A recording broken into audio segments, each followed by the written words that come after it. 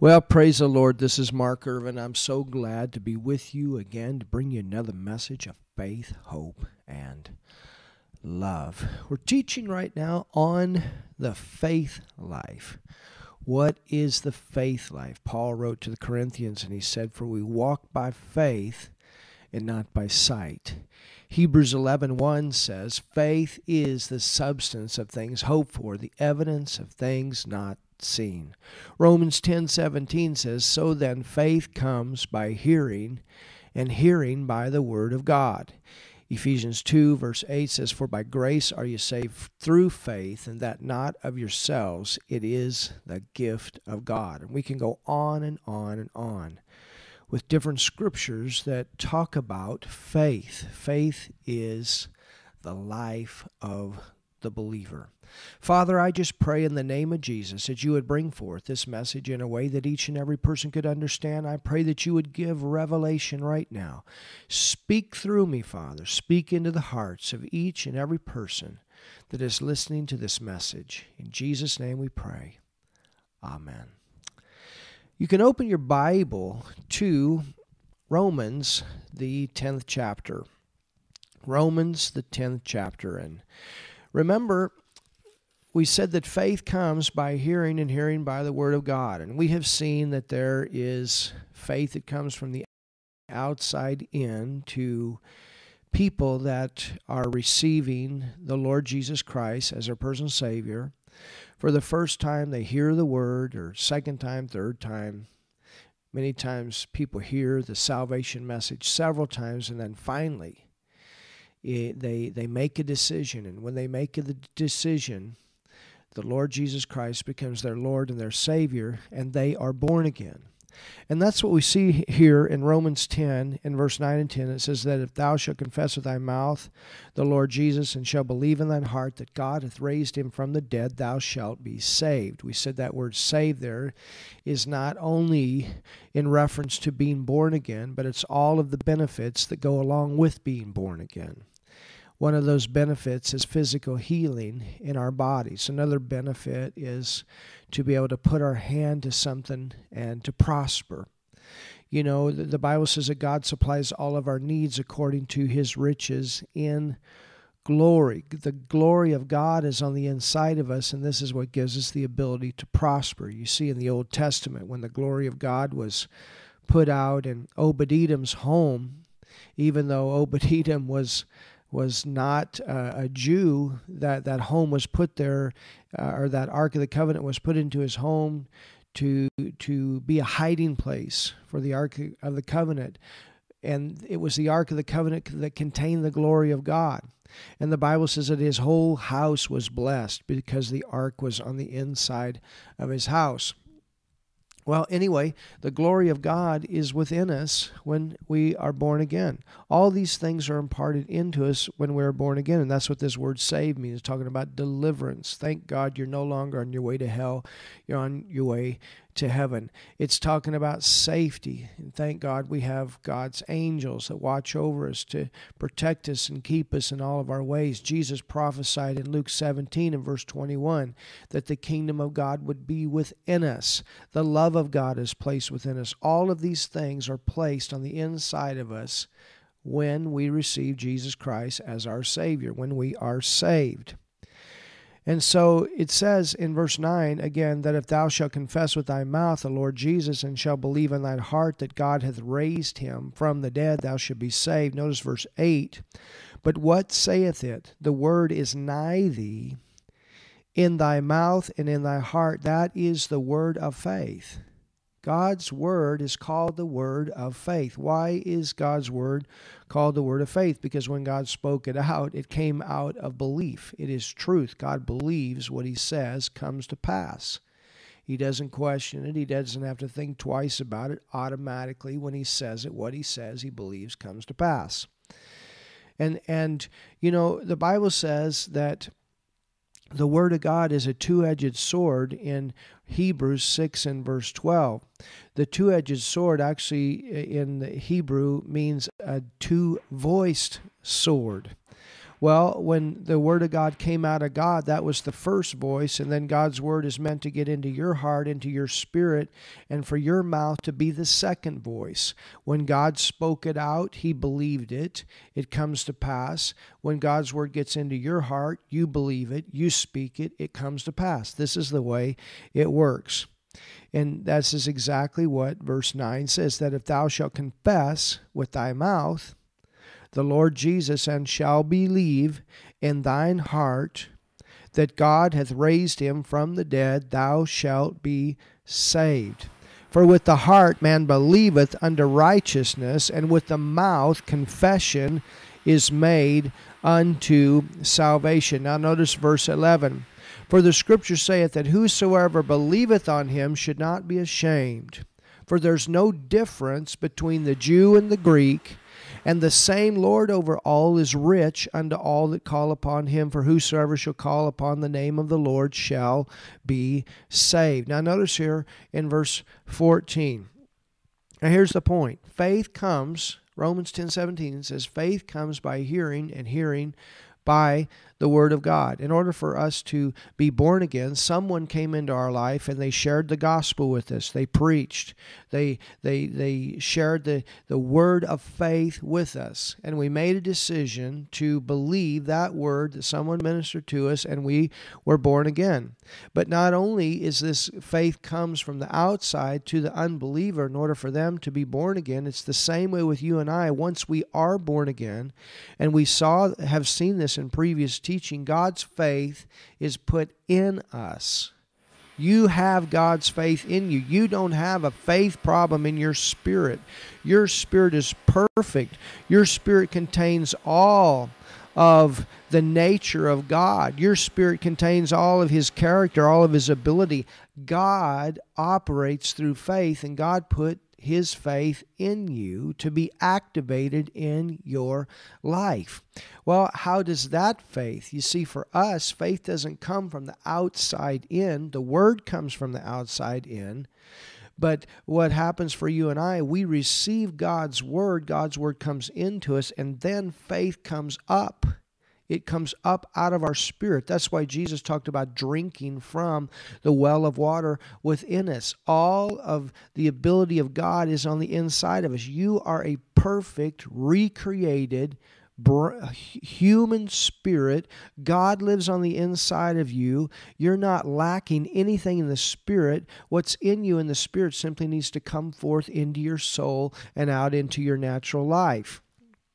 Now, look at this. How then shall they call on him in whom they have not believed? And how shall they believe in him in whom they have not heard? And how shall they hear without a preacher? And how shall they preach except they be sent? As it is written, How beautiful are the feet of them that preach the gospel of peace and bring glad tidings of good things. But they have not all obeyed the gospel. It's for Isaiah saith, Lord, who hath believed our report? To obey the gospel is to believe the gospel. To believe the gospel is to act upon the, the gospel. Who hath believed our report? So then, faith cometh by hearing, and hearing by the word of God. I like this in verse 18. But I say, have they not heard? Yea, yes, verily, their sound went into all the earth. Wow, this is a prophetic word. God's word going to all the earth. God gives everybody the opportunity to be born again, every person the opportunity to receive His Son, the Lord Jesus Christ, as Savior, and to receive this all inclusive package of salvation where all the blessing of God is and and you know when when I read this verse, I, I this is exactly this this this pricks my heart because this is uh, what God has placed on the inside of, of our ministry to do, and that's to go to nations all over the world, and that's exactly what we are doing. But I say, have they not heard? Yes, verily, their sound went to all the earth. Thank God for the internet where we can go to all the world, to many nations all over the world. Thank God for all of you that are out there sharing the gospel on a regular basis. Thank God for all this technology that we have, television and and uh, and CDs and, and MP3 players and all these things. This is God's uh, word through all this technology that he has given this generation to go to all the world. Isn't that powerful? Wow. Have they not heard? Yes, verily their sound went into all the earth, and their words unto the ends of the world. That ought to be our vision. Now, so faith comes by hearing. Go with me to Mark, the 11th chapter. And this is another one of those foundational uh, verses, one of those foundational teachings that we have in the Bible pertaining to the faith life. In Mark, the 11th chapter, we have an example. This literally happened. This is not just a story. This is literally something that happened through the perfect example of faith, the perfect example of a person walking in this faith. And that is the Lord Jesus Christ. Everything Jesus said came to pass. Every place that Jesus went, was the perfect will of God for him to go. Everything that Jesus did was God working through him. Everything that Jesus said, God was speaking through him. You understand, Jesus was completely yielded to the will of his Father, to the flow of the Holy Ghost. Jesus lived a perfect faith life. Wow. Now, in Mark the 11th chapter, I want you to notice what it says in verse 12. It says, And on the morrow, when they were come from Bethany, he was hungry. Yes, even Jesus' body got hungry. And seeing a fig tree afar off having leaves, he came if happily he might find anything thereon. And when he came to it, he found nothing but leaves, for the times of figs was not yet. And Jesus answered and said unto him, No man eat fruit of thee hereafter forever. And his disciples heard it. Now, isn't that interesting? Jesus here speaks to a fig tree. Notice, and, and first of all, it says, uh, in verse 12, and on the morrow, when they were come from Bethany, he was hungry. So Jesus was hungry. He saw a fig tree afar off, and, and it was. Um, if, if, the, if the fig tree had leaves on it, it was supposed to be producing fruit at this time. It says, And seeing a fig tree afar off having leaves, he came, if happily he might find anything thereon. He was excited, you know, well, you know, I'm hungry and and here's a nice fig tree and, and I'll be able to eat.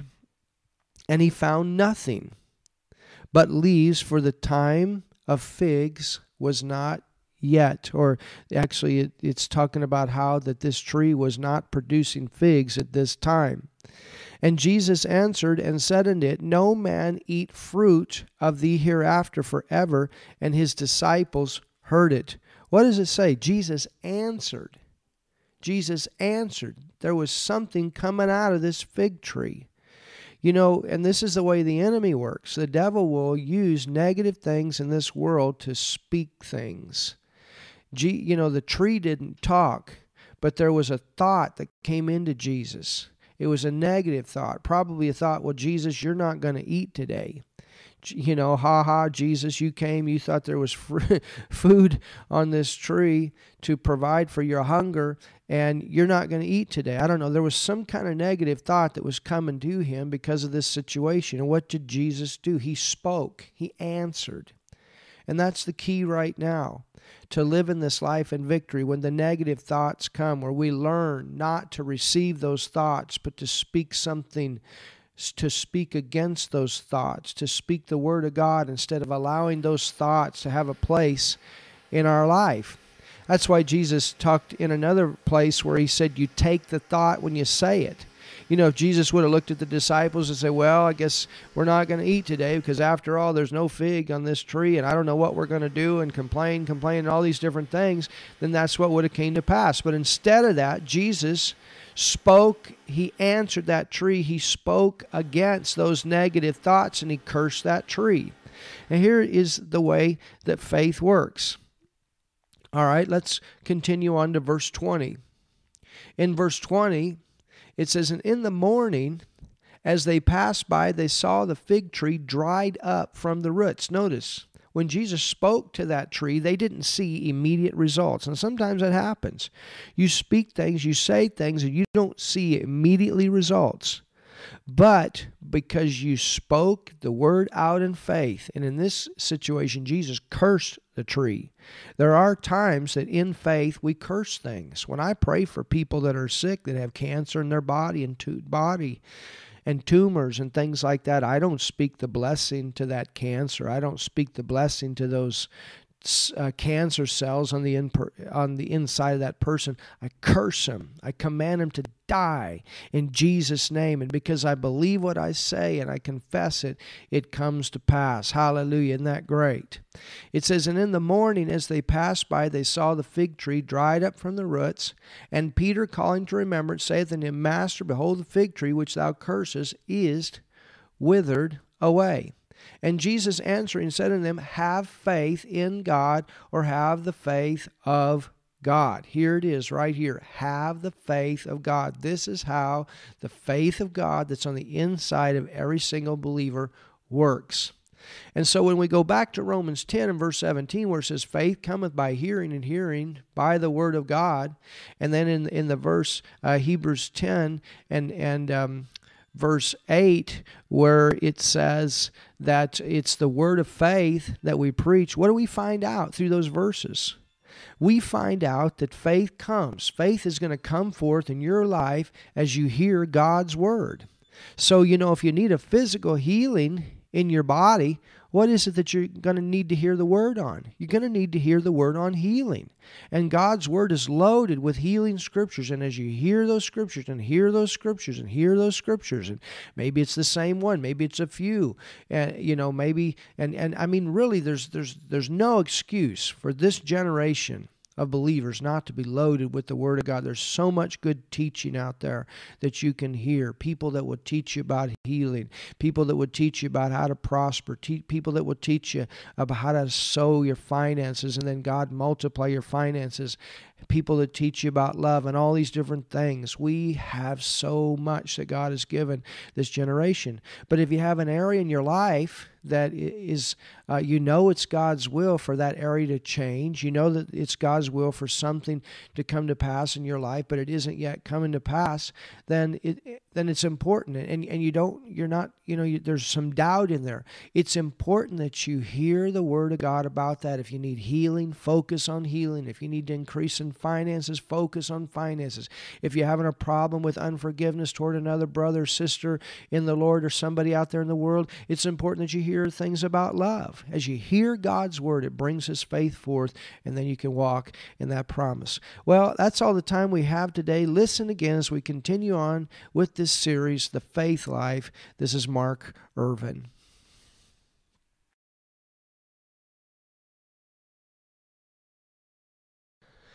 Well, praise the Lord. This is Mark Irvin. I'm so glad to be with you again today to bring you another message of faith, hope, and love. Father, I just pray in Jesus' name, speak through me, give revelation through me. I thank you for your Holy Spirit, who is the teacher who leads and guides us into all truth. And Holy Spirit, right now, you're going to give us revelation. You're going to give us our Father's Word. And Father, that's what I pray, that you do that through your Holy Spirit on the inside of us. In Jesus' name, amen. You can open your Bible to Mark, the 11th chapter. We're teaching right now a series on the faith life, and we're looking at Jesus as our perfect example. Jesus said, The works that I do shall you do also, and greater works than these shall you do, because I go to the Father we can do the same things that Jesus did. We can have the same type of life here in the earth that Jesus had. This ability is within us. And that's what we can see in the Gospels. Not only can you see Jesus going forth and doing these works, but you can also see yourself going forth and God working through you as sons and daughters of God on this earth, doing the same thing that Jesus did. And the way that we can do that is through faith, by faith, speaking faith, actions of faith. And here in Mark the 11th chapter, we have a, a landmark or a foundational teaching. You know, this is another passage of Scripture that uh, you can build all these other faith scriptures upon. You know, there are, there are those center verses in the Bible, and from those center verses, you build everything else upon. And this is one of those center teachings that Jesus gave us. Jesus taught a lot to the people that he was with at that time to prepare them for who they would become in him, in Christ. And and we have an example of Jesus using this God faith that was in him as a son of God in the earth. We have an example here in Mark, the 11th chapter. And we see that actually this faith was used not to bless, but to curse. Jesus was hungry one day. He saw a tree in the distance. This tree looked good. It had leaves on it. It looked like a nice tree to get fruit from. At that time, this tree should have been producing fruit. But when he got there, there wasn't any fruit on the tree. And then something spoke to him because the Bible says that Jesus answered the tree. He answered. Now, trees don't talk, but you understand the devil is the God of this world, and there are times that the devil will use negative situations to speak negative thoughts into us. And Jesus would not allow that thought to take root in his soul. And the thought may have been, You're not going to eat today. Ha ha, you came, you thought there was fruit here, there's no fruit. Now you're going to go through the rest of the day hungry looking for your next meal. I don't know. That's what I think. That's my opinion. The Bible doesn't say that that happened, but it does say that Jesus cursed the tree. That's what it does say. And it does say that he answered this tree and and so and you and I know that trees don't talk but there were thoughts coming into him that were contrary to God's will. And that's why Jesus spoke what he said. He said no man eats fruit from this tree from this day forward. He cursed. He spoke death to this tree. Well the next day Peter with Jesus and the disciples are walking by and and here's another thing. When Jesus spoke, they didn't see instant results. And sometimes that happens. You speak something and you don't see instant results. But everything Jesus said came to pass. And this is the way you can function as well. That everything you say can come to pass. That's the way God wants you to function where you believe in your heart, you confess with your mouth, or you speak it out your mouth. That's how you got born again. You believed in your heart and you confessed Jesus as the Lord of your life. And what happened? You got born again. God's eternal life was imparted into you. This is the way it works. This is the way faith works. Now, notice in verse 20, it says in verse 20, and in the morning, as they, passed by. They, Jesus and his disciples, they were walking by the same place where this tree was. It says they saw the fig tree. You know, apparently they, they were walking by this tree and then, you know, they stopped and they saw this same tree that Jesus had gone to to get food from the day before. And what happened? It was dried up from the roots. So notice, all the way down to the life source, the roots, the unseen, part. And maybe when Jesus spoke and said, No man eats from you this day forward, maybe at the, instantly there was results in those roots that you couldn't see. I don't know, but I know from the time that he spoke until the next day, something began to work in this tree to cause this tree to die. And that is so important. You know, in maybe you're somebody that has a symptom in your body. Maybe there's cancer cells in your body or some type of disease in your body. And maybe you've said something and you haven't seen instant results or the manifestations of the healing has not come. Well, here is an example for you. You speak it, and when you speak it, it the power of God, the life of God begins to work on that situation. That's so, so important. And just because you don't see instant results after you said it or after faith was released does not mean that it's not going to come to pass, does not mean that it won't manifest, doesn't mean when you pray and ask for something that God has not heard you. You believe what you say, what you pray comes to pass, and it will come to pass. That's what we find out in these passages of Scripture. Notice. And in the morning, as they passed by, they saw the fig tree dried up from the roots. And Peter, calling to remembrance, saith unto him, you know, like it was a shock to Jesus. Everything Jesus said came to pass, and Jesus knew it. You know, that's why Jesus didn't go around talking the way some Christians go around talking. I'm scared to death. I'm sick and tired. You know, uh, how are you doing? Oh, not too bad. I, I, those are things that should never come out of our mouth. We are sons and daughters of God that have God's faith in us. Hallelujah. It says here, and in the morning, as they passed by, they saw the fig tree dried up from the roots. And Peter, calling to remembrance, saith unto him, Master, Jesus, teacher, Behold, look at this Jesus. Look what happened to this tree. Like it was a great shock to Jesus. No, Jesus knew it would happen. That's probably why he took them by this tree the next day so they could see the results. Hey, this stuff works, praise God. You didn't see it this day, but this stuff works. Don't ever forget that. Just because you don't see instant manifestation when you speak it doesn't mean it will not come to pass. You believe what you say. Hallelujah. And Peter, calling to remembrance, saith unto him, Master, behold, the fig tree which thou cursest is withered away. When they walked by that tree, it was completely dead. Withered away means they didn't it didn't just not have leaves on it. You know, maybe those leaves were all shriveled up. I don't know, but literally every part of that tree was dead, dead, dead. It was it was dry. It was as dead as any kind of dead tree that you've ever seen. It was dead. Praise God.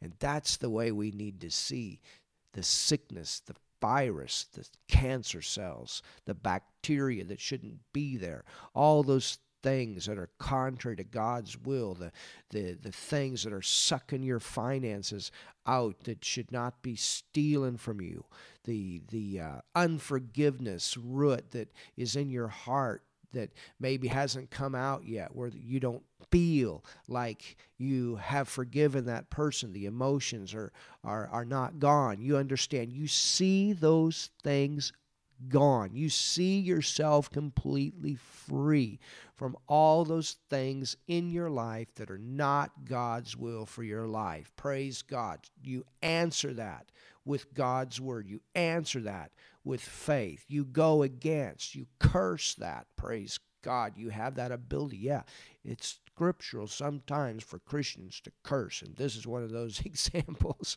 where you curse, you go against. In Jesus' name, I curse that cancer and I command you to die. I command you to leave that person's body. I curse that financial lack and, and what's sucking the finances out of that person. And I command in Jesus' name uh, that situation to die. And I speak the blessing over that person that needs healing in their body. By the stripes of Jesus, they're healed. I speak over their finances and I command them to be released in the name of Jesus and that ideas come forth in Jesus' name uh, for that business and those finances. I speak over that person that they are free from that root of unforgiveness, that the Word of God and the love of God is working, and instead of those negative thoughts, they're being able to see those people in the right way, in the way that, that, that God sees them. and I just see that person free from those difficult things that are in their heart and I see them free that those emotions can feel good again. Hallelujah. Can you see this is this is what I'm talking about. This is exactly what Jesus did. He cursed it to the roots and he released and and there and we can release the blessing. We can release the blessing. And that principle also is found in James where James talks about out of the mouth uh, precedes blessing and cursing. He says these things ought not to be. Of course, he's talking about uh, Christians that are constantly making negative confessions about their life and and and you know what the devil's doing and all these kind of things and I'm scared and I'm sick and and all that stuff that shouldn't come out of our mouths as Christians. We want to curse the things that are contrary to God's will and speak the blessing forth. I walk in health. I walk in prosperity. I walk in the love of God. I have divine appointments on a regular basis. Angels are out there protecting me, and on and on. This is the way it works. I'm going to continue to show you that here in verse 22. I don't know. I'm about ready to preach today. Praise God. Yeah, it's scriptural. it's scriptural for Christians to curse. no, I didn't say to say bad words. That's not what I'm saying. This is where it's scriptural to curse, to go against the things that are coming into your life that are contrary the negative thoughts that come because of negative situations, just like this tree. God's not telling you that negative situations won't come into your life. I mean, Jesus had storms that came into his life. He was sleeping. He just got up and rebuked the storm. He cursed. Jesus had people that were demon possessed in his services. He spoke against those things. Jesus had, you know, religious people that came that uh, were only in his services to criticize and go against him. Right in the middle of it, Jesus had people healed people that wanted to be healed. he said, which is easier to say, thy sins be forgiven, take up your bed and walk. So so you understand this is how it works. You can be in this dark world full of light, walking in the light of God, the promises of God come to pass manifesting in your life as you live this life of faith. Now, notice verse 22. It says, And Jesus answering saith unto them, this is right after they say, Wow, Master, the tree that you cursed, it's gone. Jesus answering saith unto him, Have faith in God, or have the God kind of faith. Wow. Have the God kind of faith is actually the way that this should have been translated in the Greek, and some of you have that in the footnotes of your Bible. Even in the German Bible, it's in the footnote uh, of one of the German Bibles. It says, And Jesus answering saith unto them, Have the God kind of faith. Jesus said, This is the way it operates. He's telling them, have. This is one of those preparational teachings. One of the things that you that, that you need to realize about the teachings that Jesus gave in the Gospels is that these teachings were teachings to prepare man for the time of coming out of the Old Testament way of living and living a New Testament way. Man lived by his senses in the Old Testament. In the New Testament, praise God, we live out of the Spirit. God lives in us. Our spirit is perfect, it's complete. And when you and I were born again, God put his faith in us. We saw that in previous teachings that we've already given in this series. God's faith is in you. Even Paul said in Galatians 2 and verse 20, he said, I've been crucified with Christ. Nevertheless, I live, yet not I, but Christ lives in me. And he said, In the life that I live, I live by, by, I live by. So important. So important. There are some versions that say uh, that I live uh, by the faith, by faith in, but that's not the way that that verse should have been translated. The King James says, I live by the faith of the Son of God. You have the same faith in you that Jesus had in him. You have the same ability to have the same kind of life manifesting here in this earth that Jesus had. You're a son, you're a daughter of God. God lives in you. His faith is in you to do the same things that he did. Oh man, I see that our time has come to an end. We got some great things that we'll continue to get into uh, next week as, as we teach from Mark, the 11th chapter, about casting out the doubt. It's going to be a powerful, powerful week. And so, anyway, I want to invite you to join us. We will be on live on our internet channel, our live stream channel on Sunday morning, 10 o'clock German time. And you can go on our website, the front page, and all the other time zones are mentioned on the front page. And we'll enjoy having you with us. Uh, in our in our Sunday service, and and we're actually teaching uh, with English and German translation. So you can call your friends up if there's German speaking, and they can join us. That's Sunday morning at 10 o'clock. Of course, all those services are also uh, on video on demand afterward that, that you can watch on our live stream channel. So, anyway, have a wonderful, wonderful weekend, and I look forward to being with you again Monday as we continue on with this series the God kind of faith or the faith life. This is Mark Irvin.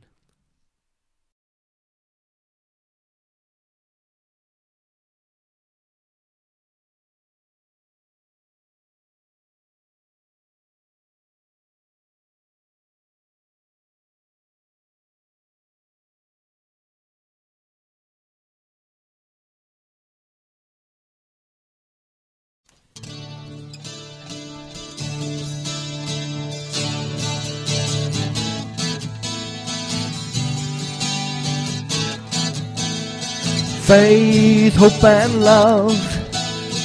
Greatest of these is love. Faith, hope, and love. The greatest of these is love. Hello, this is Mark Irvin bringing you a message of faith, hope, and love each Monday through Friday through this internet broadcast. Faith comes by hearing, and hearing by the Word of God. Hope is the anchor of your soul. And here's the greatest one of the three. You have a Father God who really loves you and cares for you. Yes, that's right. You were created to be loved by God. So listen each Monday through Friday. Tell your friends. Get your Bible. Relax and enjoy the broadcast. This is Mark Irvin. Well, praise God. This is Mark Irvin. I'm so glad to be with you again to bring you another message of faith, hope, and love. And today we are continuing on with our series, The Faith Life. Father, I just pray in Jesus' name that you would bring forth this message in a way that each and every person could understand. I pray that you would give us revelation, Lord. I thank you for a brand new day, a brand new week, Father. A brand new week, Father, to go forward with the plan and the purpose that you have for our lives. In Jesus' name, you working through us, you doing, Father, what you want to do through us in this day, this week. In Jesus' name, we pray. Amen. You can open your Bible to Mark, the 11th chapter. We're teaching on the faith life.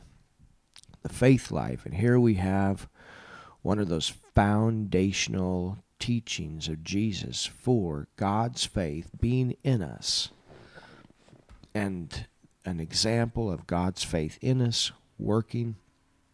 Jesus said that the works that I do shall you do also, and greater works than these shall you do, because I go to the Father.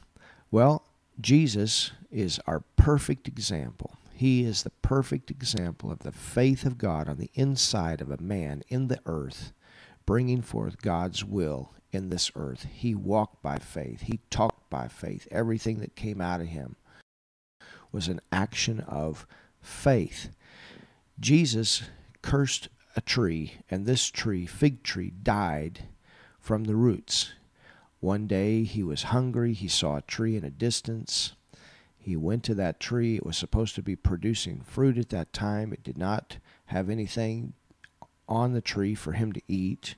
The Bible says that Jesus answered the tree and he spoke to this tree and he said, No man eats fruit from you from this day forward.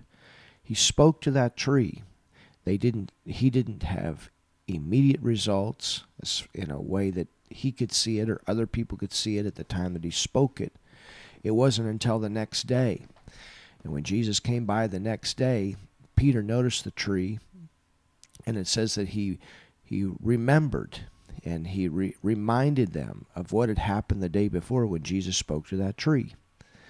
And it said that that tree was dried up from the roots. It was dead from the roots. It was withered away. It was completely dry. It was completely dead. Jesus spoke, he cursed, and the tree died. Well, that's a good example for you and I. We can not only bless with our tongue, but we there are also times that we need to use our tongue to curse and bring death to things that are not of God. And the Bible says that Jesus answered the tree. Apparently, this tree was uh, providing some type of negative thought. You know, the, the trees don't speak, but the devil, he uses the negative things of this world to speak negative thoughts and it's his desire that through these negative thoughts that, that he brings into our soul as a result of negative negative situations in our life that we speak those thoughts forth and when we speak those thoughts forth jesus said that we take the thoughts when we say it. We literally can bring those things into manifestation in our life. And that's not what we want to happen. We want to speak God's word. We want to speak God's thoughts. God's word and his thoughts are the same thing. And when we do that, we can bring forth God's plan, God's purpose, God's will in our life. So we bless with our tongue. We can also curse. And when we speak against, just like Jesus, he spoke to that tree and he said, No man eats on this tree from this day forward.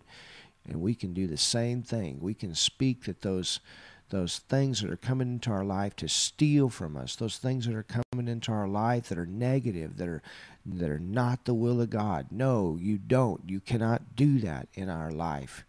Uh, if there's a sickness and and that wants to manifest itself in your body, you can speak against those things. You know, I've had those times where symptoms want to come up and you can you can feel that symptom in your body and I simply say no, I refuse. I refuse to allow that symptom to dwell in my body. Just a few days ago, you know, there were some things that were going around here and in Nuremberg and people getting sick and and you know you're around these people you're around people all the time that and out in in the world and and you hear about it. I my son just got home from a ski trip and half the class was sick and all this information was coming and and so you hear that kind of stuff and then the devil says oh you know that's going to get you, you you're, i'm going to bring that on you. And instantly when that thought came no you don't. You will not bear that fruit in my body. I resist you. I go against you and thank god it's good to walk in divine health and that's the way it works you curse these things you go against those things that are contrary to the will of god in Mark, the 11th chapter, notice in verse 20, it says, And in the morning, as they passed by, they saw the fig tree dried up from the roots. And Peter, calling to remembrance, saith unto him, Master, behold, the fig tree which thou cursest is withered away. And Jesus answering saith unto them, Now remember this verse, it says, Have faith in God that's what the King James says, but actually the Greek says it this way have the God kind of faith. I don't know why they didn't translate that properly. I guess that uh, they you know they didn't have the the revelation of of the fact that God's faith can really be on the inside of man and that's exactly what this verse is saying. This verse is saying, and, and in the footnotes of many Bibles, it even says that, that, that this should have been translated, have the God kind of faith. Have the God kind of faith. Well, Paul referred to that in Galatians 2 and verse 20, where he said, I've been crucified with Christ, nevertheless I live, yet not I, but Christ lives in me. And the life that I live, I live by, it says, the faith of the Son of God. Well, Paul lived by the faith of the Son of God. He lived by the same faith that was on the inside of Jesus. And Jesus had God's faith in him. And uh, remember, we read in 2 Peter 1 and, and verse 1, it says that we have obtained like precious faith. We have God's faith. This is a part of our new creation. This is a part of who we have become in Christ. When you were born again, God put his faith in you. And so Jesus cursed this fig tree through this faith of God that was on the inside of him, the, the curse was released and it caused that fig tree to die. This faith is on the inside of you. God's faith is there. When God says no, no is no. When God says yes, yes is yes. And and if God says no and you speak out a no, then it's going to stop. If God says yes and you speak out a yes, it's going to come to pass. Praise God. That's what Jesus is going to teach us here in verse 22 in verse 22 through 25. It says, And Jesus answering saith unto them, Have the God kind of faith. Have the God kind of faith. Wow. For verily I say unto you, that whosoever, now notice it doesn't say whosoever apostle, whosoever prophet, whosoever pastor or you know a great uh, man of God that you know that that uh, you say wow that person has done great great things I'm going to tell you something that person that has done great great things started small nobody gets there overnight and and that's the way God works. God says as we're faithful over little, He makes us great over much. I mean, think about what God did even through His Son Jesus. He birthed Jesus into a small town, a little town called Bethlehem, a, a place that you wouldn't think that a king would be born. Yet that's what God does. He starts big things in small places. And and he put his faith in you to do big things through you. Hallelujah. All of us, each one of us have God's faith in us. For verily I say unto you, that whosoever shall say unto this mountain, now remember, Jesus has just cursed a tree and it dies. And now Jesus is standing at the Mount of Olives. And when Jesus stands at the Mount of Olives, and, and he can literally see this on the inside, because you see, he's not only teaching them about faith, but Jesus is also re- releasing some prophetic words Jesus knows the Old Testament, and he knows that there's going to be a day that he's going to come back to the earth as the King of Kings and the Lord of Lords. And the Bible says that when he comes, and this is found in Zechariah the 14th chapter, he's going to come and the Mount of Olives is going to split. This is probably the same mountain that Jesus was at when he was transfigured. The Bible doesn't say that, but I believe that's the way it is according to the evidence of the prophetic word about when Jesus Christ returns. He's going to return. And and uh, at his second coming as the King of Kings and the Lord of Lords when he brings his kingdom to the earth. I'm not talking about the time when we leave in the rapture. I'm talking about the end of the tribulation when Jesus Christ comes back as the King of Kings and the Lord of Lords. The Bible says that he's going to speak to this mountain and this mountain is going to split. It's going to be removed. And that's what Jesus can see here. He's he's given out a prophetic word, but at the same time he's teaching them how it's going to happen, how it's going to come to pass. And then he's not just speaking about a mountain. He's speaking about things. And so we could uh, bring this into our own lives in reference to big things that are in front of us that need to move. Maybe you have something big in your life. Maybe you have something impossible in your life. Maybe uh, the doctor has told you there's no chance for you. Maybe you have a financial situation. I just had a testimony recently of, of some of our partners, and, and these, our partners were very deep, deep, deep in debt. I mean, it was a large amount of money, and praise God, they have been sowing and they've been sowing and they've been believing God with the seed that they have sown, and God has supernaturally worked in their life, and the debt is almost completely paid and supernaturally. That's God, supernaturally. And you know what? Praise God. Not only is God taking them forward to where all of that's being has is taken care of but uh, God also take them forward to where they will prosper, prosper, prosper. Hallelujah. That's a wonderful, wonderful praise report. But for them, it was a humongous mountain. It was a big, big mountain. But they sowed in faith. They believed God in faith. They spoke the word of God in faith. And, and that mountain has been removed. Wow. Isn't that great? For verily I say unto you, now look at this that whosoever shall say unto this mountain, Be thou removed, and be cast into the sea, and shall not doubt in his heart, but shall believe that those things which he saith shall come to pass, he shall have whatsoever he saith. Therefore I say unto you, what things soever you desire when you pray, believe that you receive them, and you shall have them. And when you stand praying, forgive if you have aught against any, that your Father, which also is in heaven, may forgive you your trespasses. Well, Jesus is talking here about the heart. And the heart here in this verse is a reference to your soul. How do you know that? Because when you were born again, you became a complete, brand new creation. In your spirit, you're lacking nothing. This is exactly what the Bible says. The Bible teaches us that we are complete in Christ.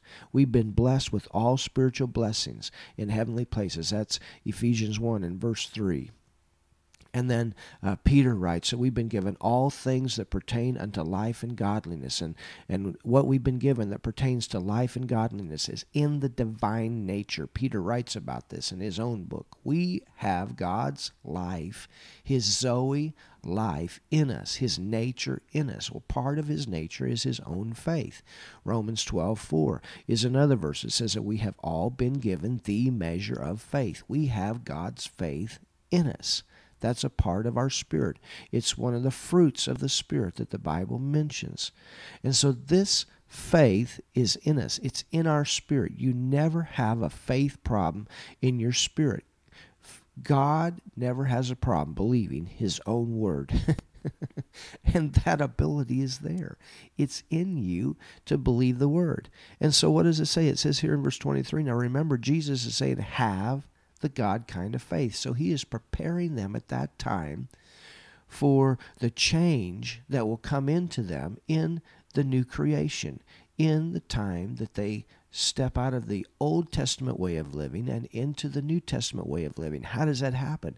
It happens by being born again. If you've received Jesus Christ as your personal Savior, God has come to live on the inside of you. Now look at this. So, it says, for verily or truly I say unto you, that whosoever shall say unto this mountain, unto you what?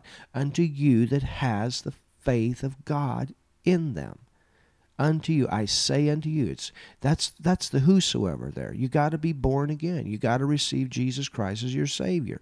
And when that happens god comes to live in you. If you've not received jesus you, um, all you have to do is pray and say jesus i believe in you as my savior. I believe you died on the cross for me. I believe that you became sin with my sin. I believe you went to hell and paid the price for my sin. I believe that you're resurrected from hell and i believe in you as my lord and my savior and if you do that, right there, that's simple. God comes to live in you and you become a brand new person. And then God's faith is there to where you can operate the same way that He operates. Man was created in God's likeness and God's image to do it the same way that He does it. And He puts His faith in us to do it.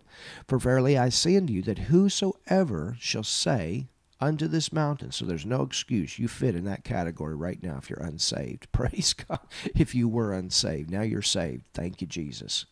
That whosoever shall say unto this mountain, Be thou removed, and be cast into the sea, but notice, and shall not doubt in his heart. Well, if you're a new creation in Christ, a brand new person, and God has come to live on the inside of you, you don't have any doubt there in your spirit. This word heart has to do with your soul. And that's why the Bible teaches us that we need to get our souls renewed with the word. Well, I see that that's all the time we have for this message today. Listen again tomorrow as we continue on with this series, The Faith Life. This is Mark Irvin.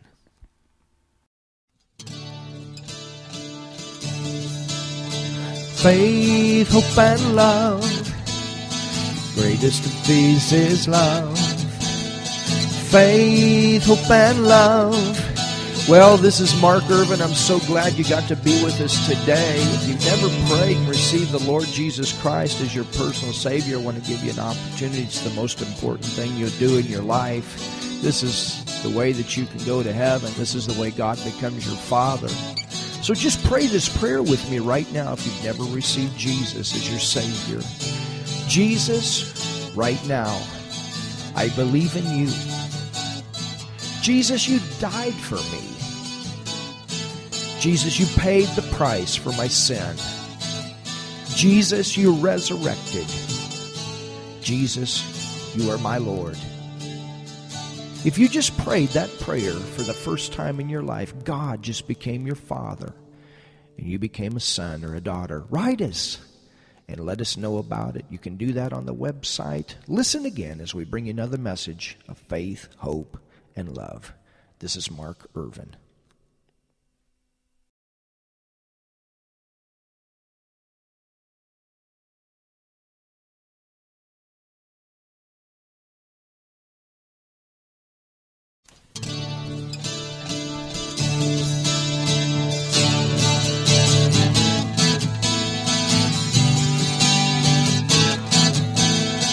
Faith, hope, and love.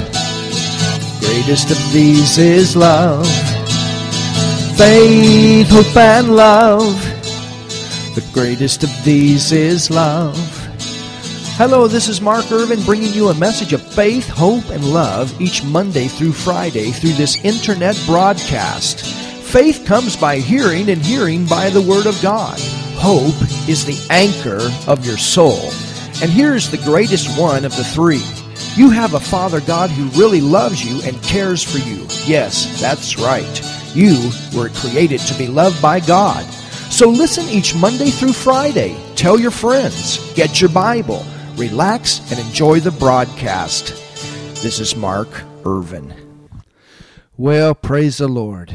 It's another day for another message of faith, hope, and love. We're teaching right now a series called The Faith Life. Before we get into the message, let's go before our Father in prayer. Father, I just thank in Jesus' name for again an opportunity that we have to be together in this way, Father. I just thank you for your word. I thank you for changing lives through your word. I thank you for giving revelation from your word, Father. I thank you for your living word that goes into our hearts and changes our lives, changes us in our soul, changes everything in this outside life to bring our outside life into your perfect way, your perfect plan.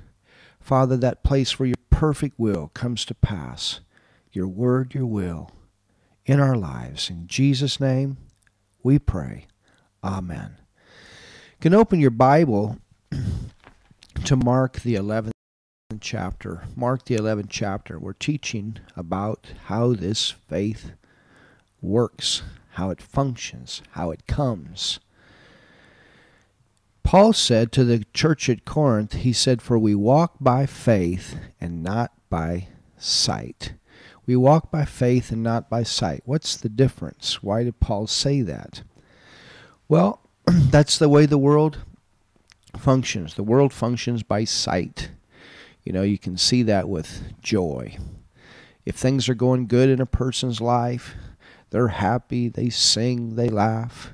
They go to football games, they're excited. If their team is losing, they're depressed. If things are going they're going through difficult times, they're depressed. But you know, for you and I, we always have victory. Victory's always on the inside. We always have joy. Joy is always on the inside. We always have love. Love is always on the inside. That is who we are. That's our recreated human spirit. God lives there. The Holy Spirit lives there. We are love that resists the hatred and unforgiveness that's in this world. The way that the world lives is not the way we live.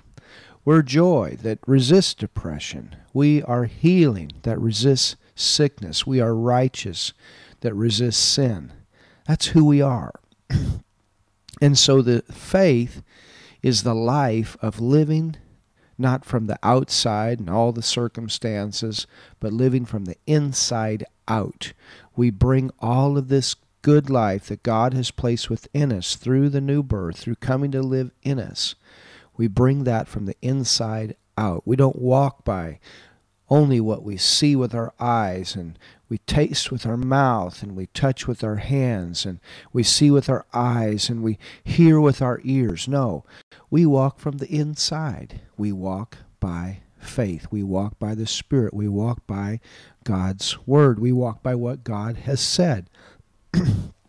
and so God is in us. Paul said, For we walk by faith and not by sight. Now, look here in Mark, the 11th chapter, and Jesus is a perfect example of a man living in this world, yet living from the inside. He was in the world, but not of the world. And that's you and I. We are in this world, but we're not of this world. We are of God. God lives in us. His faith is in us to be activated and to bring forth all these good things that are in the Zoe life the salvation package. In Mark 11 and verse 22, and we spent quite a bit of time on this, Jesus has just spoke to a tree, cursed the tree. We saw that he didn't have results that could be seen right after he spoke to the tree. It wasn't until the next day. The next day they were walking by this tree that they had cursed, and Jesus teaches the disciples and teaches us a lesson about faith. It says here in verse 22 And Jesus answering saith unto them, Have faith in God, or have the God kind of faith. We saw that in the footnote of many Bibles, that's what it says have the God kind of faith. The Greek says that have the God kind of faith. For verily I say unto you that whosoever, well, who is the whosoever? It's the whosoever that has the God kind of faith. That whosoever shall say unto this mountain, Be thou removed and be cast into the sea, and shall not doubt in his heart, but shall believe that those things which he says shall come to pass, he shall have whatsoever he saith. Right here is the key. You know, let's think about this verse right here in verse 23. It says, For verily I say unto you, that whosoever shall say unto this mountain, Be thou removed, and be cast into the sea, and shall not doubt in his heart, but shall believe that those things which he saith shall come to pass, he shall do what? He shall believe that those things that he saith shall come to pass, he shall have whatsoever he saith. Well, that sounds like Romans 10 in verse 9 and 10. Romans 10 and verse 9 and 10 is the salvation scripture. We taught on this in the beginning of this series.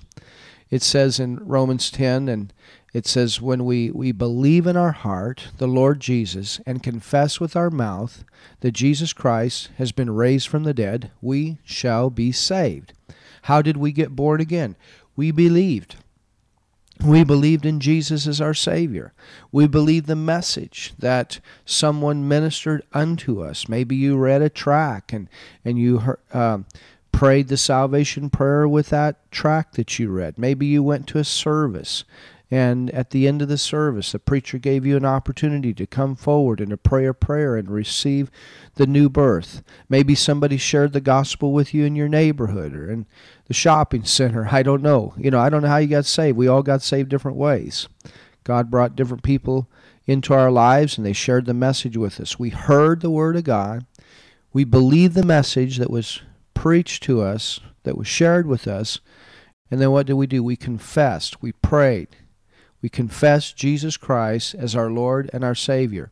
And at that time we were saved.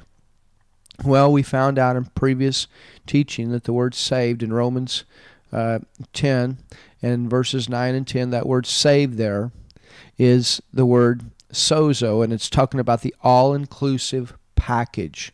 It's talking about the new birth. It's talking about health, it's talking about safety, it's talking about deliverance, talking about perseverance. It's, it's the entire package of God that's imparted into you when you're born again. Faith would be in that package, love would be in that package, joy would be in that package. Everything that you received is included in that word saved. Wow. Isn't that powerful? So, how did that happen? You know, you didn't just get born again to go to heaven. You didn't just get born again and become a child of God but becoming a child of God, you receive that entire inheritance, that promise that was given unto Abraham, that through Abraham all of the nations of the earth would be blessed, that everlasting life, that everlasting covenant. That's what you have. That's who you have become. You have become the inheritance. You have become all of these things that are in the package. And how did that happen? Well, you believed in your heart. And see, this is the point. You don't want to just believe to become a child of God, but you want to believe. You know, this is this is what's happening. This is getting activated on the inside of you. You make the decision, wow, I got this in the package. And and you know, whether whether it manifests in a person's life or not doesn't mean that it's not in the package. I remember one time, you know, I was in, and I've heard Brother Hagin share this, and I've had literally the same thing happen in my life before. But, uh, you know, one time I was at a gas station and I couldn't uh, put gas into my car because I didn't have any of my bank cards at that time. And, and uh, I looked into my billfold. When I looked in my billfold, there wasn't any money there. And then, you know, a couple weeks later, I did have enough money to get or gas to get home, but a couple weeks later, I was looking around in my billfold, and I noticed, whoa, there was a twenty dollar bill there, and this twenty dollar bill was in a hidden place in my billfold. It was behind something in my billfold, and uh, you know, if if I had known when I was at the gas station that I had that twenty dollar bill in my billfold, I could have had, went ahead and, and put quite a bit of gas in my car at that time without any problem of uh, to, to be able to get home. And I, I did get home. Like I said, I just had barely enough to get home at that time. But it would have been nice to not have to resist those thoughts. Are you going to make it home or not? Of course, this was many years ago. You can't fill your tank up with twenty dollars worth of gas today. And uh, but you see, I had the money there. It was in my billfold. I just didn't know it was there. And that's why it's so important that you get to know the Word.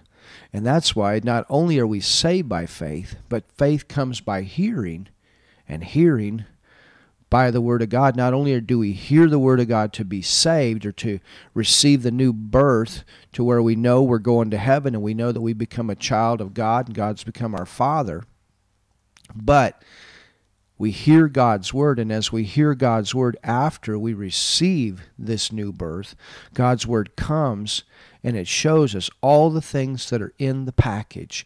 And then as you see that, you say, Wow, praise God. And that activates that belief on the inside of you to where all these other things that are in this package can manifest in your life. And this is how the doubt is removed. Look at this in verse 23. It says, For verily I say unto you, that whosoever shall say unto this mountain. Now, Jesus here, you know, he knows that this is going to happen through him someday. There's going to be a day that he literally is going to speak to the mountain that he's referring to. This is the Mount of Olives. And when Jesus comes at his second coming, his second advent, that's not the same as a rapture. We're going to come back with him. And when we come back with him, he's going to speak to that mountain, and that mountain is going to be split. It's going to be cast into the sea. He's going to speak to it and it's going to happen. And so Jesus knows that this mountain is going to be removed someday. This is a prophetic verse and he's speaking from the inside out. But not only is it a prophetic verse, he's also teaching us about how this works. He spoke to the tree and the tree died. He's going to speak to the mountain, the mountain's going to move. Look at this. It says, and be thou cast in the sea, and shall not doubt in his heart. Heart here has to do with your soul. You have no doubt in your spirit. There's absolutely no doubt there. God lives there, His nature's there, His faith is there. You never have a problem in your spirit. You are complete in Christ. But you see, you're three parts. The Bible teaches us that we are spirit, we have a soul, and we live in a body. We are a spirit, we have a soul, and we live in a body. In our spirit, we're complete, we're perfect. We're not getting any more faith there, we're not getting any more love there, we're not getting any more joy. It's all there, it's all in the package. But the Bible teaches us that we are saved in our soul with God's Word. We are to get our mind renewed with the Word of God. We're to be renewed in the spirit of our mind. These are different verses in God's Word. And so, what does that mean? That means that what is in spirit needs to get into our soul, our mind, our will, our emotions. Well, if you would have doubt in your heart, where would that be? That couldn't be in your spirit because God's faith is there. We already saw that. So, what's the problem? The problem would be doubt in the soul. How do you get rid of the doubt in the soul? The same way you got saved. You hear the word. You get your mind renewed with the word. God's word and God's thoughts are the same thing. So as you hear God's word, what's going to happen? You hear it, you believe it. Wow, it activates the faith in you in the spirit, and what happens? That faith comes up as a force Literally, it's a force. Just like love is a force.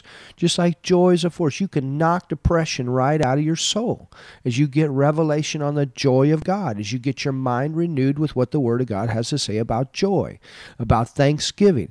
It's the same way with um, what God's word has to say about love. If there's unforgiveness there, you look at the word of God and you you you find out what God's word has to say about love and what happened. It activates love and it'll knock the hurt out of your soul. You can get healed in your soul. You don't have to have these bad feelings in your soul because of things that have happened in your life. This is the way it works. Faith comes.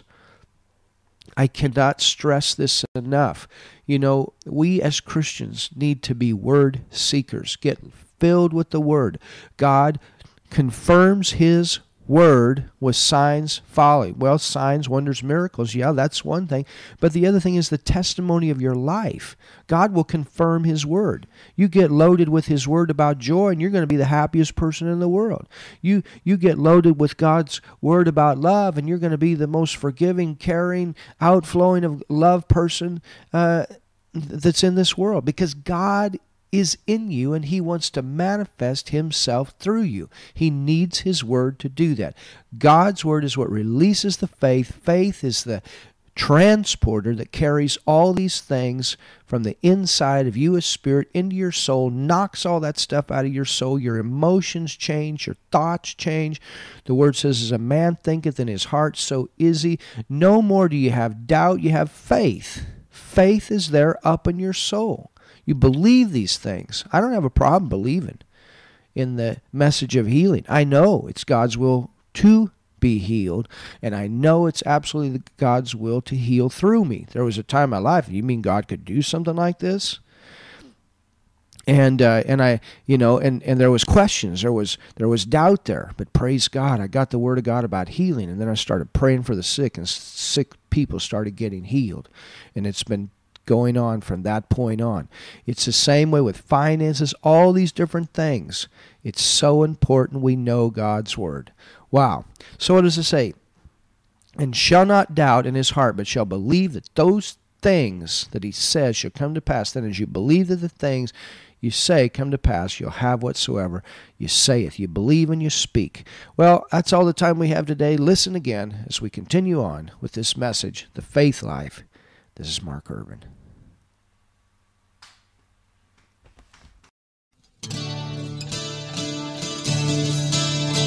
Faith, hope, and love.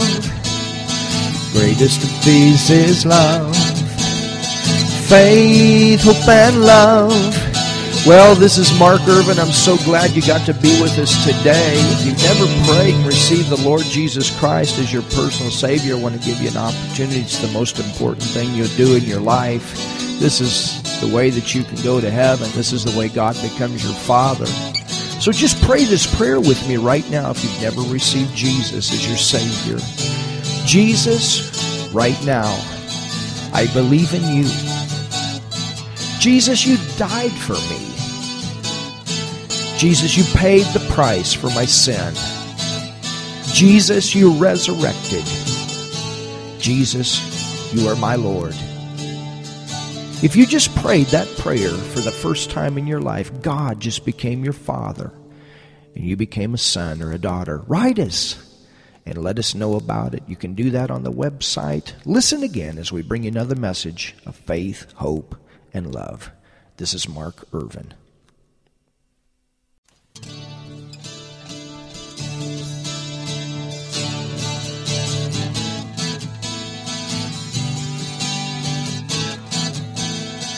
Faith, hope, and love. Greatest of these is love. Faith, hope, and love. The greatest of these is love. Hello, this is Mark Irvin bringing you a message of faith, hope, and love each Monday through Friday through this internet broadcast. Faith comes by hearing, and hearing by the Word of God. Hope is the anchor of your soul. And here's the greatest one of the three. You have a Father God who really loves you and cares for you. Yes, that's right. You were created to be loved by God. So listen each Monday through Friday. Tell your friends. Get your Bible. Relax and enjoy the broadcast. This is Mark Irvin. Well, praise the Lord. This is Mark Irvin. So glad to be with you again today for another message of faith, hope, and love. And currently, we are teaching a series on the faith life. The faith life. What powerful, powerful teaching that we have already had. This is the, I think, the 12th message right now of this series that we're doing.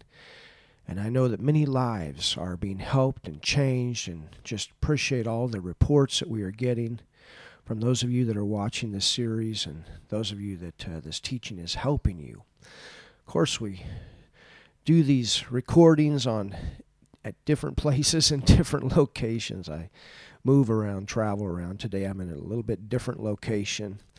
And so we get some interesting backgrounds sometimes. Some of you had little humor on our background yesterday. And uh, anyway, thank God. Listen to the message and allow God to speak directly to your heart. Hallelujah. Father, I just pray right now in Jesus' name that you would speak through me into the hearts of each and every person that watches, listens to this message. And Father, I thank you for your Holy Spirit who is on the inside of me, who teaches through me, who gives revelation. And Father, you know exactly what needs to be said today. And Father, you, through your Holy Spirit, are in me, and you will speak directly through me your word, the word that you've given me, into their hearts. And their lives will change as your word comes forth. And I thank and praise you for these things. In Jesus' name. Amen.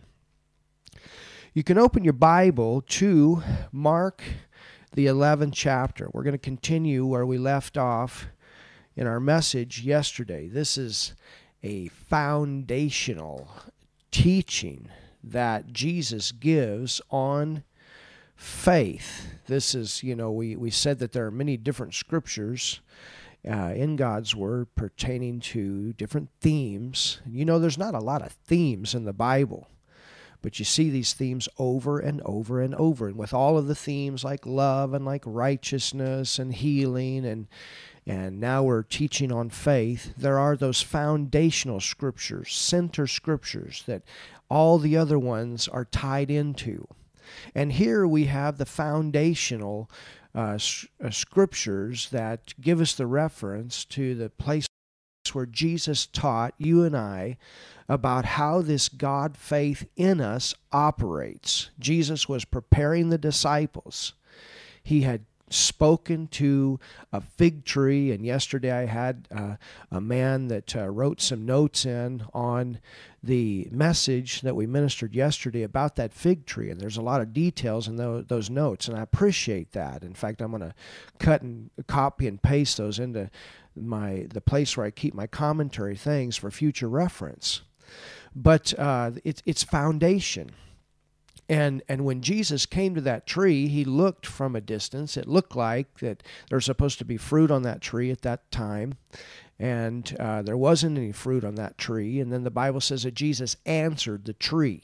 Well, trees don't talk, but because of that situation, there were negative thoughts that uh, that were coming to him. And when those negative thoughts came to him, he spoke. He spoke against he and and you can you can curse things. Jesus literally cursed that tree with his word. And it was through faith in his words that he spoke to curse that tree that that caused that tree to dry up. It dried up, the Bible says, from the roots.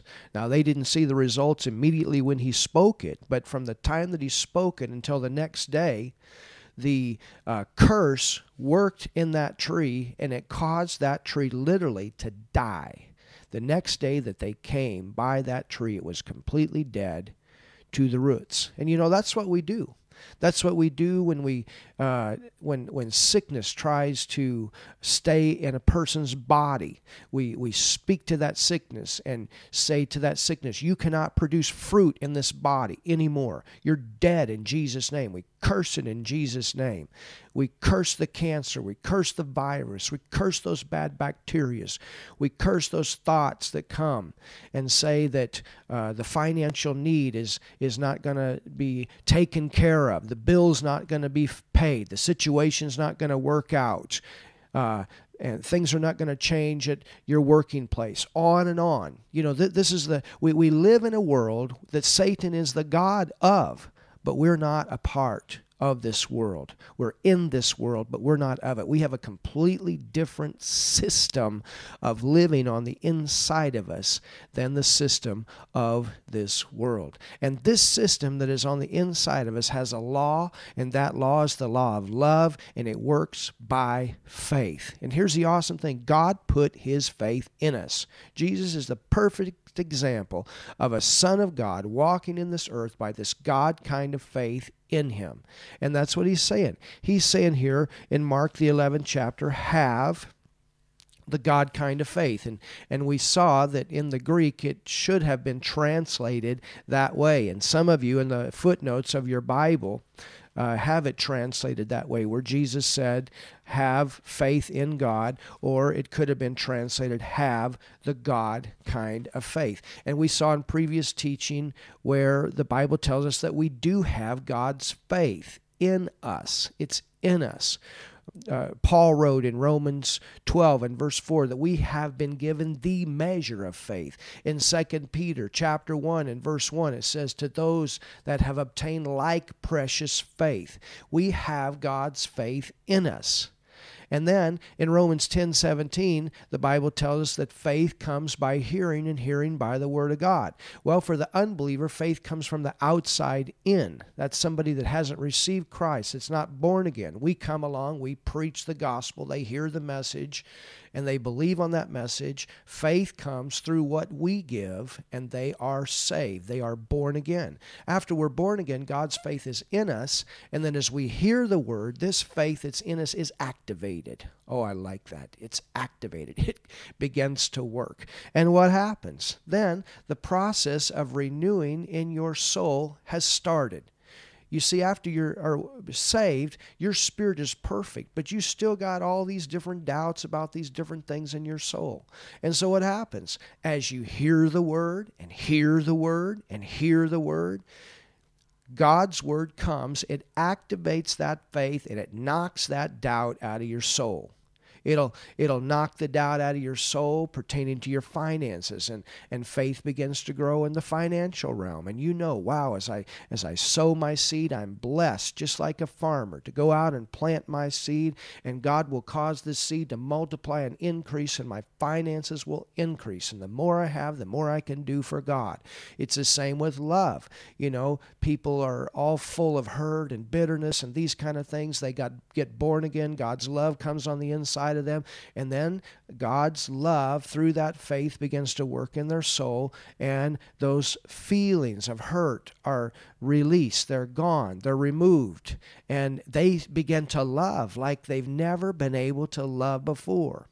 And and you know this is this is what makes us free. Jesus said that we would know the truth and the truth would make us free. Now, let's look at this in Mark 11 and verse 22.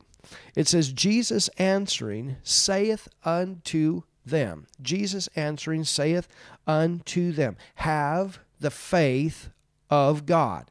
Now remember, these are Old Testament believers. They believe in Jesus. These are Old Testament believers. The disciples have not been born again at this time. They're still under the old covenant. Jesus' entire ministry was under the old covenant. He was the only one that was alive with the Spirit of God on the inside of him during this time in the earth. And he is teaching them, preparing them for this new covenant that would come. That's what we're living in right now.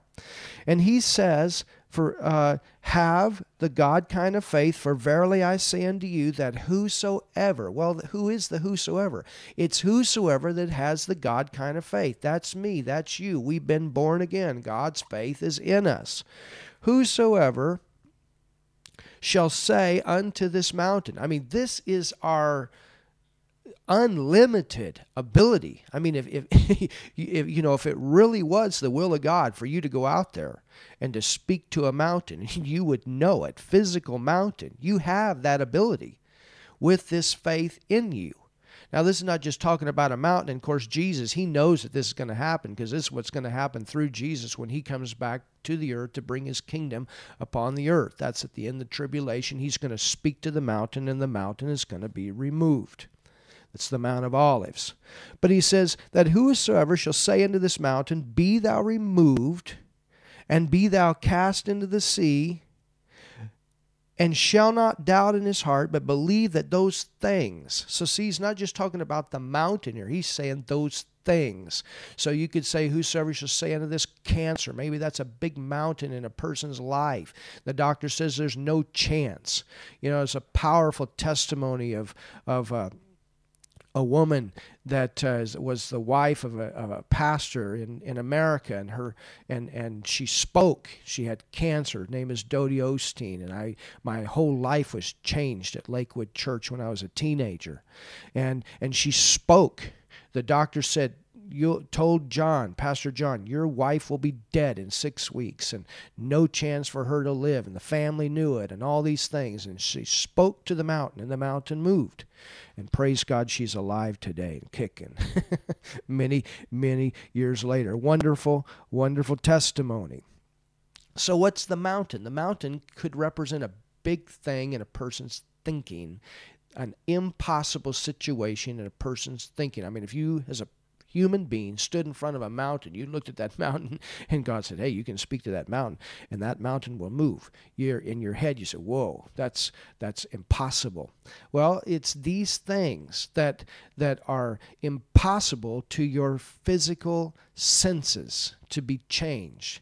You know, the other day I was uh, riding on a train with someone and witnessing, sharing the gospel with them and talking to them about what we believe and being born again and and then about the crusades that we've had and just coming back from the Philippines and the people that were healed there and coming back from Malaysia and the people that were healed there. And and the person says wow that's you know that that's impossible. That's impossible to believe. But they said if you say so that's what they said. Now why did somebody say something like that? You know and this man was was very well educated and but see here's the thing. This man has been educated with all this sense knowledge that comes through the universities and schools and things like that. And and he's he's totally been educated in his soul. And a, and a lot of these the, the foundation of this education does not support the the uh, scriptural principles of the Word of God. It's total education contrary to God's Word. I'm not saying it's wrong to get an education, but please keep your education number one God based. You understand what I'm saying? Well. Um, how do you get to that point where you get that stuff knocked out of your soul? The Word of God, the living Word of God. And see, this is a thing. You know, we as Christians, we have a whole different foundation. I mean, our, the whole foundation of what be, we believe. Uh, God spoke and the world was created. It came out of the realm of the unseen into the realm of the seen.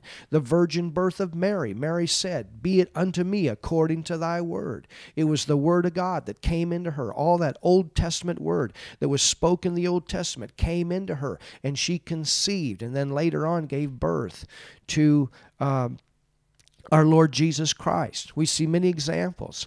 And see, this is the reason, even in the Old Testament, where man was not born again, they had to do things over and over and over. It was to regularly remind them in their senses of the promises of God that God said, God said, and then they did certain things to remind themselves regularly, God said, God said. And then eventually, uh, all the manifestation of what God said about the coming of Jesus came to pass. Praise God. And not only did Jesus come to the earth as a child and live in the earth as a son of God, but Jesus was crucified, he died, he paid our price for sin, he resurrected, and thank God we have this eternal life. We have this new life on the inside of us. That was a big mountain. That was a big mountain, even where the promise began with Adam and Eve. That was a big mountain through the Old Testament. Even the with Abraham, you know, God appeared to Abram and said, "You're going to have a baby, and you and Sarah are going to get together." And there was no way physically for them to have a baby. That was a big mountain for them.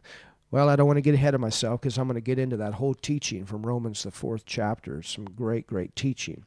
But it says here, and shall not doubt in his heart but shall believe that those things which he saith shall come to pass, he shall have he who? He that has the God kind of faith. Now remember, Jesus has spoke to this tree, and the and the manifestation of what he said came to pass. It didn't happen exactly on that day. It wasn't until the next day that they saw the results. But from the time that he spoke that word, until the next day, things were working by this faith to cause that tree to die. And that's so important. Now, it says, and shall not doubt in his heart. Doubt is never an issue of your spirit. It's always an issue of the soul. And as you hear the Word of God and hear the Word of God, this is what drives the doubt out of your soul. So, what happened? You believe in your heart, you confess with your mouth, and these things come to pass. Amen. Now, notice here. It's so so we have faith released through our words. I want you to see something else. Go with me to James, the first chapter. So we speak the word. Not only do we speak the word, but notice what James says in the first chapter. It talks about faith in verse 14 it says for what doth it profit this is james 1.14 i'm sorry james 2.14 got the wrong verse james 2.14 what doth it profit my brethren though a man say he have faith and have not works can faith save him if a brother or sister be naked, destitute of daily food, and one of you say to them, Depart in peace, be ye warmed and filled, notwithstanding, ye give them not those things which are needed to the body, what doth it profit? Now notice verse 17. Even so, faith, if it, if it hath not works, is dead, being alone. Yea, a man may say, Thou hast faith, and I have works. Show me thy faith without thy works. And notice here, and I will show thee my faith by my works. So not only does faith say something and it come to pass through what is said, but there's also action. Action. And many times, you know, when I pray for people, not only do I pray for them and speak the word of God and go against the sickness, the pain that's in their body, but at the same time tell them, hey, do something you couldn't do act some way you couldn't act. Put action to it. And many times, right then, when they put the action, all the symptoms are gone. Well, praise God. Action. I'm thinking of a testimony recently when I was in Malaysia. We taught how to uh, heal the sick. And you know, there was a, a woman there by the name of Jessica. And man, immediately after one of the services one night, there was somebody that was sick in the church and they were at home, laid in the bed, completely flat, couldn't get out of bed. And immediately that woman went to that house and laid hands on that woman that was in bed, and she completely got healed. Then just this week sent me a testimony with a picture going out praying for somebody that was deaf in Malaysia. You got to understand, in Malaysia. And immediately as she laid her hands upon that deaf person and stuck her fingers in her ear and commanded that spirit to go and commanded that woman to be healed, that woman was completely healed. So not only do we hear, not only do we speak, but we immediately put action to the word of God that God has given us. Well, I see that our time has come to an end for this teaching.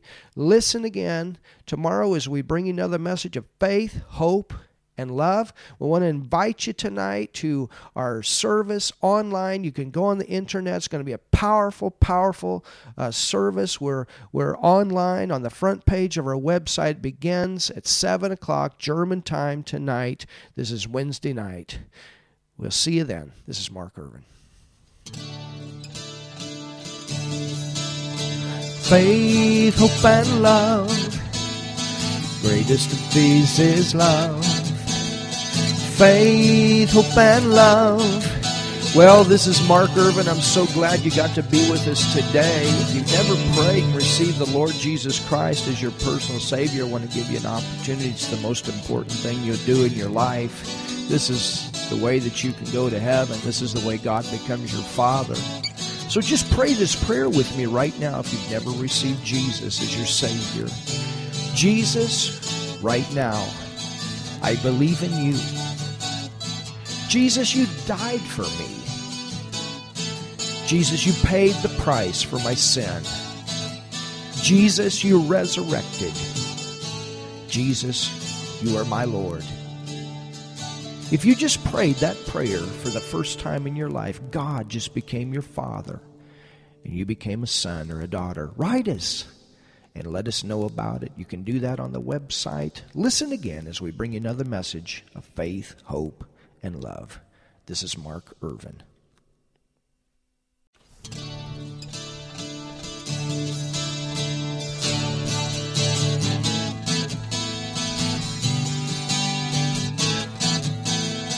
Faith, hope, and love. Greatest of these is love. Faith, hope, and love. The greatest of these is love.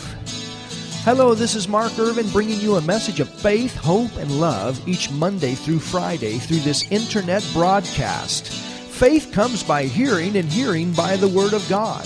Hope is the anchor of your soul. And here's the greatest one of the three. You have a Father God who really loves you and cares for you. Yes, that's right. You were created to be loved by God. So listen each Monday through Friday. Tell your friends. Get your Bible relax, and enjoy the broadcast. This is Mark Irvin. Well, praise the Lord. This is Mark Irvin. I'm so glad to be with you today to bring another message of faith, hope, and love. Before we get into the message, let's go before the Lord and let's ask Him to lead us. Father, I just pray right now in Jesus' name that you would speak through me. I pray, Father, that you would speak directly into the hearts of each and every person that listens to this message. Father, I thank you for your living word. I thank you, Father, for your faith that you put on the inside of us. And through your faith, we live, we walk. In Jesus' name. And I thank you for teaching us right now. Amen. You can open your Bible to Mark, the 11th chapter. Mark, the 11th chapter. And we're continuing on with our series of teaching, we've been teaching about walking by the God kind of faith or the faith life. God's faith is in you. The day that you received Jesus as your Savior, God put Himself into you. He put His nature into you. He put His faith on the inside of you.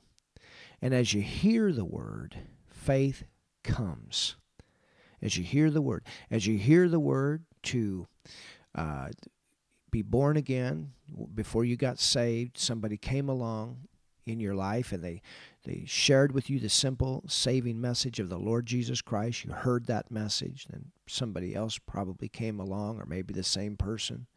And you continued to hear, and finally you made a decision based on what you heard. It brought faith into you, and you believed on that time and received Jesus Christ, your Savior, you were born again. Well, after you got born again, God's faith was put into you. That's a part of your spirit. That's a part of the new creation. That's a part of who you have become in Christ. And so for you, now faith comes from the inside out. You hear the word of God from the outside in, goes into you, and it activates God's faith that's within you and it brings this faith forth so that God's perfect will can come to pass in your life. If you haven't been with us, I encourage you to go back and listen to the previous teaching. I think this is the 13th message, 13th message that we've given on this subject, and we've taught a lot already about this faith of God that comes to us before we're saved and gives us the ability to get saved, and then God's faith that is imparted into us, that is activated after we are born again. And that activation takes place by hearing God's word and getting our minds renewed with His word. Wow. So in Mark the 11th chapter, it says here in verse 22 and Jesus answering saith unto them, Have the God kind of faith. We found out that that should have been translated, Have the God kind of faith. And we showed you different verses uh, in the Bible that tell us that we have God's faith in us. Have the God kind of faith. For verily I say unto you that whosoever, it's whosoever has the God kind of faith, shall say unto this mountain, Be thou removed. Now remember, Jesus has just cursed a fig tree and the fig tree dried up and withered away. The next day, when they walked by, they saw the results of what Jesus had said the day before to that tree. He cursed it, and he cursed that tree with faith. He spoke words of faith, and the tree died.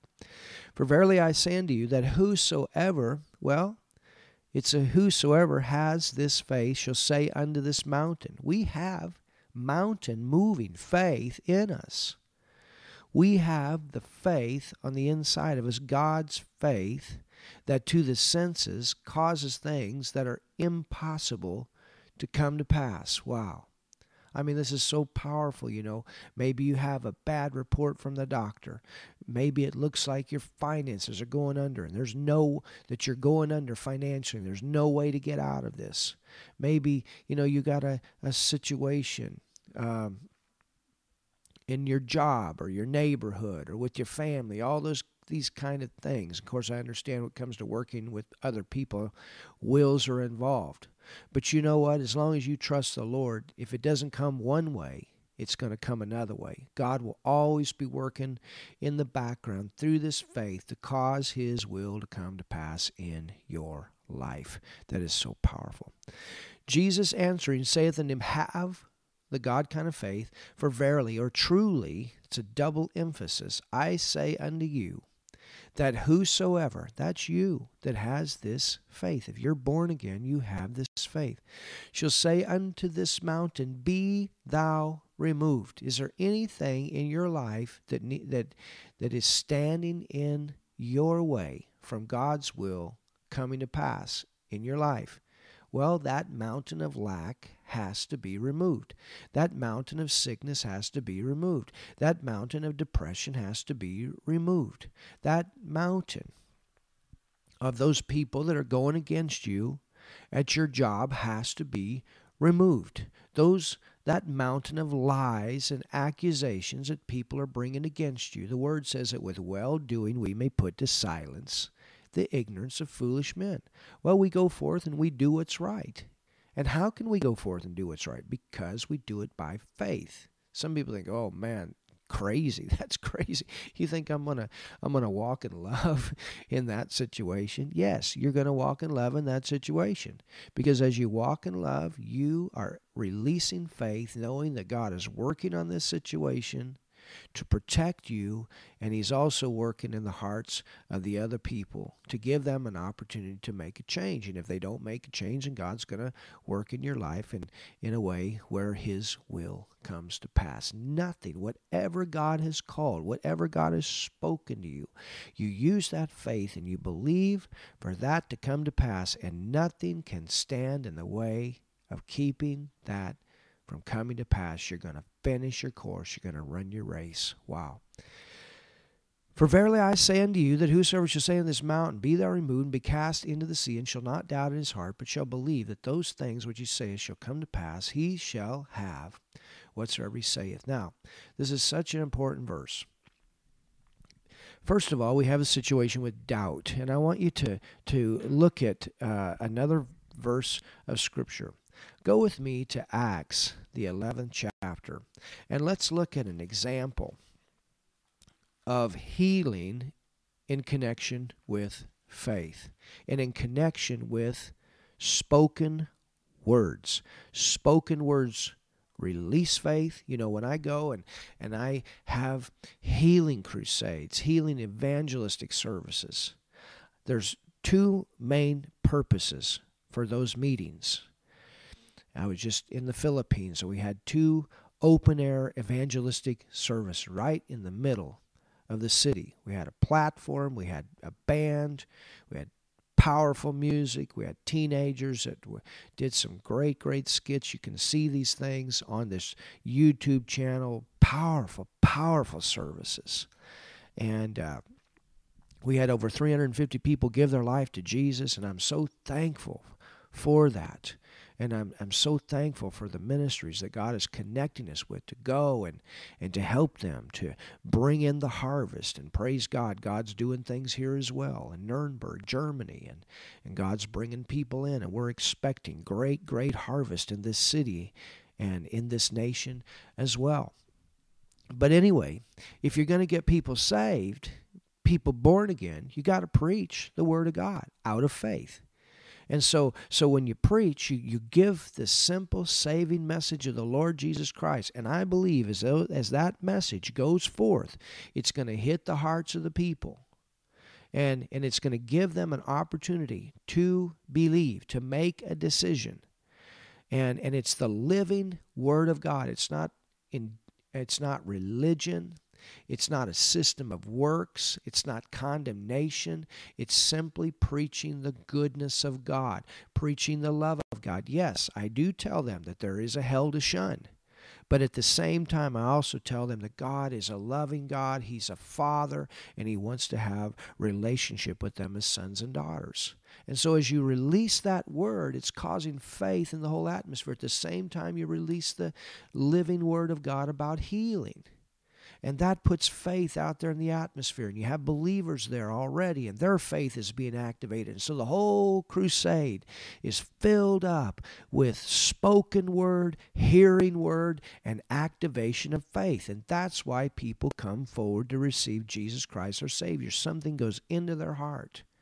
It's God's word and they are activated and they become a brand new believer in Jesus Christ. The same time the Word of God is released into the atmosphere and the Holy Spirit is able to move and to work with that.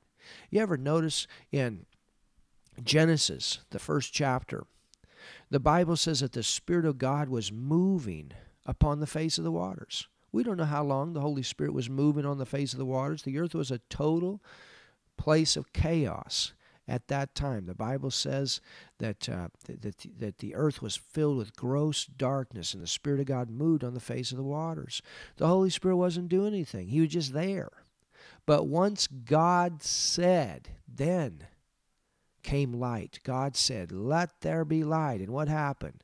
God spoke, He saw light on the inside, and He spoke light out from the inside out through faith, and light manifested.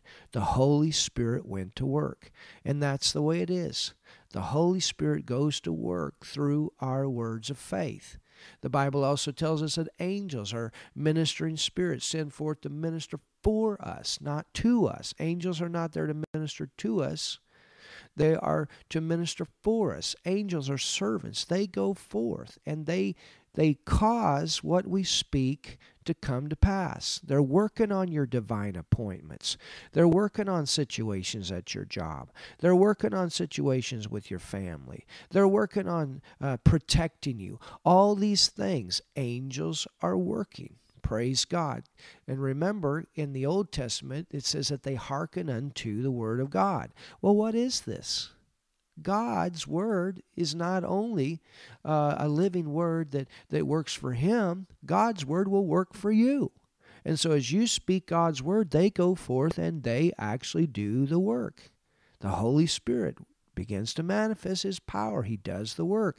The angels do the work. I'm telling you, God is there. He's in there.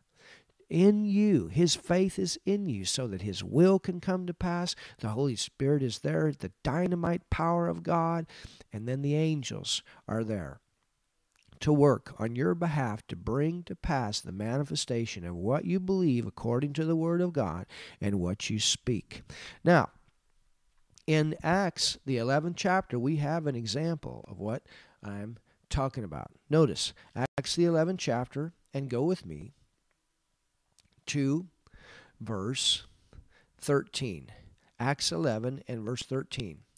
It says, And he showed us. Now, this is Cornelius, and Cornelius is a good man. And, uh, and he, wants, he wants to know God in a personal way. And it says here in verse 13, and he showed us how he had seen an angel in his house. Now, notice, he saw an angel which stood and said unto him, Send men to Joppa and call for Simon, whose surname is Peter. Now, the angel, notice, I mean, you would think if an angel would show up in somebody's house, most people would think, well, the angel would have given this man the saving message of the Lord Jesus. But angels, they don't preach the gospel, they don't share the revelations of God's word. Actually, angels learn from us at this time. During the tribulational time, when we're gone, the angels will be a part of the ministers in the earth to give the people that are here in the earth that have been left behind another opportunity during those seven years to receive Jesus as their Savior. But angels, right now, they don't have that ability to teach and to preach the word, to share the gospel. But the angel showed up. And and you know, I'm sure that somebody was praying for this man. And and this man was seeking God, seeking God and, and wanted to know God in a personal way. And so what happens? The angel showed up in his house, which stood and said unto him, Send men to Joppa, and call for Simon, whose surname is Peter, who shall, notice, who shall tell thee words whereby thy and thy house shall be saved. How are these people going to get saved?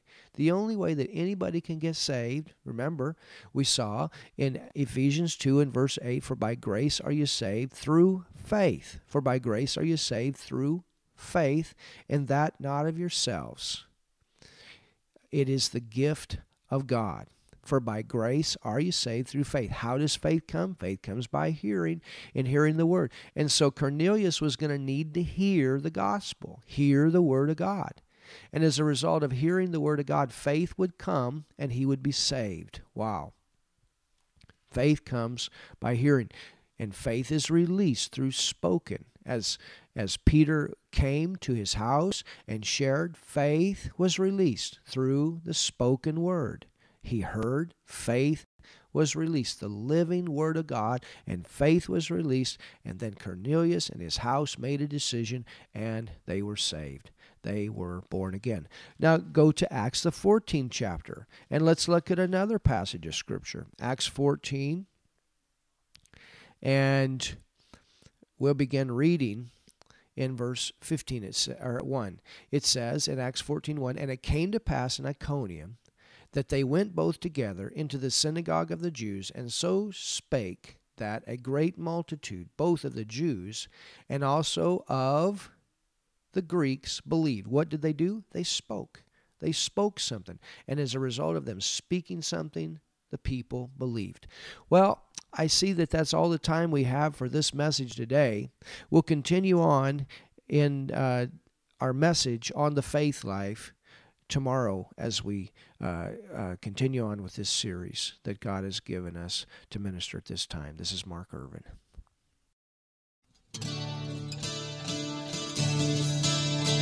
Faith, hope, and love. Greatest of these is love. Faith, hope, and love well, this is Mark Irvin. I'm so glad you got to be with us today. If you've never prayed and received the Lord Jesus Christ as your personal Savior, I want to give you an opportunity. It's the most important thing you'll do in your life. This is the way that you can go to heaven. This is the way God becomes your Father. So just pray this prayer with me right now if you've never received Jesus as your Savior. Jesus, right now, I believe in you.